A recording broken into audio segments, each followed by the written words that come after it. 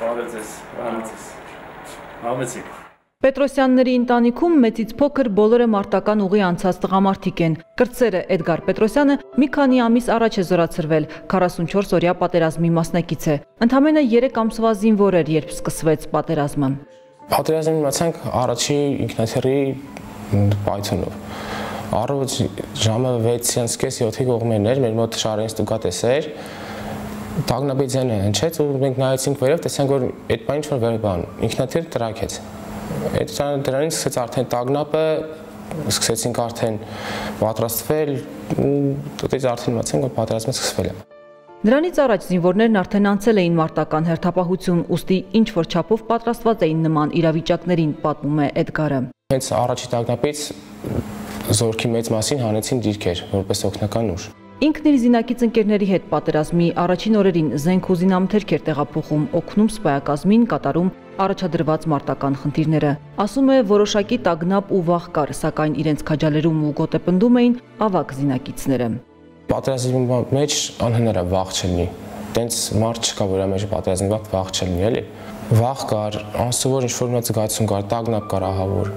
Այդ օրերին Էդգարն ու իր մարտական ընկերները գրեթե չէին քնում։ Հիշում է, ամեն պահ օգտագործում էին հայրենիքի պաշտպանության գործին որևէ կերպ օգտակար լինելու համար։ Պատերազմի մեկնարկից մի շաբաթ անց Էդգարին տեղափոխում են Ճարտար գյուղի տարածք, ուր էլ սկսում է անհրաժեշտ ռազմական պարագաներ տեղափոխել մարտական դիրքեր երկնքից անդադար թափվող արկերի տարափի ներքո։ Ստիպում էր առաջին հերթին հայրենասիրությունն է, որ պատերազմա, երկրորդ թե որ ես արդեն գիտեմ, որ իմ մոտիկ ընկերները, աղբերները շատ մարդիկ մահացել էին արդեն, որ մեջս ահավոր վրեժխնդրություն կար։ Ամեն անգամ ասում եմ, ամեն դժվար բաները թեկուզ ես շատ մեծ ցանկությամբ ուզում եի անել։ Երիտասարդ տղան ասում է, հայրենասիրությունը հենց ընտանիքից է եկել։ Դեռ վաղ տարիքից Էդգարը դաստիարակվել է հենց այդ ոգով։ Հայրս այդ առումով շատ հայրենասեր է ու փոքրուց իմ մեջ դի սերմանել է, որ հայրենասիրությունը այդ հայտողու առաջի պարկն է թագոս բանակում երբ որ պատերազմի մեջ ես լում ու մի հատ հողի վրա կայնում ես ու գիտես էդի քոնն է, քո մեջ արդեն ինքնիք են ցանկություն առաջանում այս հողը պահելու։ Այս ընթացքում էլ Էդգարի Պապիկը, որն ապրիլյան քարորիայի մասնակից է, մոբիլիզացիոն ուժերի կազմով եւս մեկնում է Արցախ, եւ հենց այստեղ էլ տեղի ունենում անսպասելի հանդիպումը։ Մենք մեր թիկունքայնական գործ ենք անում, ինչպես միշտ էլի հարցում ենք ու իմ անունազգան եմ լսում որ կանչում են մեկը բարձր իմ անունազգանը գորմա իմ պապիկը շինում պապիկիս ընկերն ալնում Սմայգար Պետրոսյան դες ասեմ հա էլի ես եմ հա դեսա փոխգնդապետին տենանք տանենք քեզ քո պապիկի մոտ սկզբից չեմ հավատում ասում կատակա պատականություն ասենք ստեյս կալոնան ուղարկեցին դե մեզ ճանապարհին չասին ուր հասան գտե բա ճարտար են գեցում ես լսել եմ որ թորս ճարտար է ուսամ անգալ տեղ չէին ասում բայց կտա Ատոմ Պապը, որ առաջին անգամ չէր շտապում ռազմիդաշտ, ասում է. «Պարզապես հիացած է մեր անվախ ու քաջարի զինվորների մարտական ոգով»։ Շատ ռիսկով։ Այսքան վախ չկար։ Այդ իսկ որ նայում եք, ասում եք ես կորցնելու ինչ չեմ, եթե իրանք չեն վախենում կորցնելու կյանքը դեմներն, էլի։ Ես իր համար եմ վախենում։ Մերջ չէ։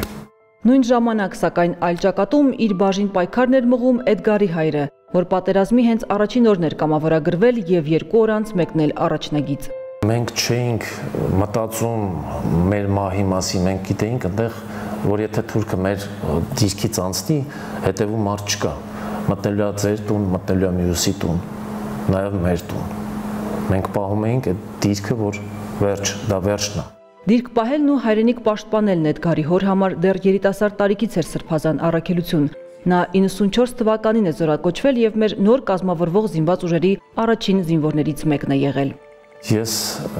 հայրենիքս ընդունում եմ որպես իմ մեծ տուն։ Ես անձամբ այդ որ ասում գնացել եմ ջրականի հորադիզի շրջանի դիսկերը ես եմ անձամբ փորել մեր տղերքով, մեր ընկերներով։ Իմ համար այդ ցավալի է։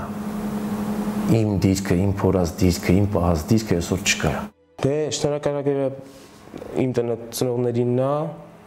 Էդգարը մարտական գործողություններին մասնակցելու համար ապարգևատրվել է արիության համար մեդալով։ Նպատակ ունի ծառայության անցնել ուժային կառույցներից մեկում հայրենիքի պաշտպանության ու փրկության գործում իր լուման ներդնելու համար։